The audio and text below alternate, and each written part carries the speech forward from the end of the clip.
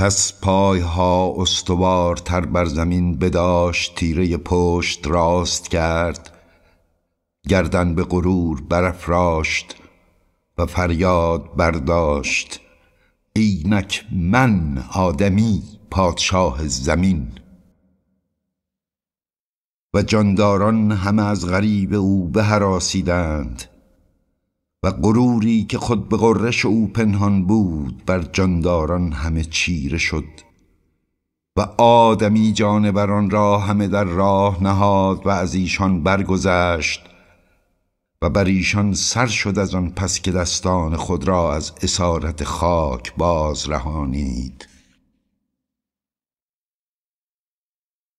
پس پشتها و خاک به اطاعت آدمی گردن نهادند و کوه به اطاعت آدمی گردن نهاد و دریاها و رود به اطاعت آدمی گردن نهادند و تاریکی و نور به اطاعت آدمی گردن نهادند همچنان که بیشه ها و باد و آتش آدمی را بنده شد و از جانداران هرچه بود آدمی را بنده شدند در آب و به خاک و بر آسمان هرچه بودند و به هر کجای.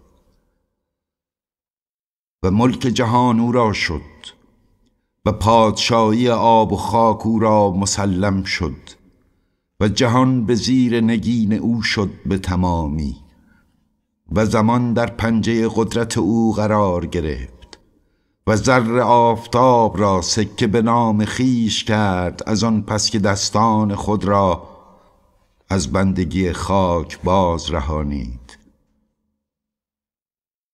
پس صورت خاک را بگردانید و رود را و دریا را به مهر خیش داغ برنهاد به غلامی و به هر جای با نهاد خاک پنجه در پنجه کرد به زفر و زمین را یک سر باز آفرید به دستان و خدای را هم به دستان به خاک و به چوب و به خرسنگ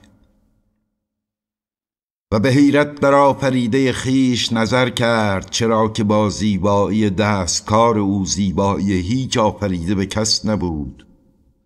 و او را نماز برد چرا که معجزه دستان او بود از آن پس که از اسارت خاکشان وارهانید. پس خدای را که آفریده دستان معجزگر او بود با اندیشه خیش وانهاد. و دستان خدای آفرین خود را که سلاح پادشاهی او بودند به درگاه او گسیل کرد به گدایی نیاز و برکت. کفران نعمت شد و دستان توهین شده آدمی را لعنت کردند چرا که مقام ایشان بر سینه نبود به بندگی. و تباهی آغاز یافت.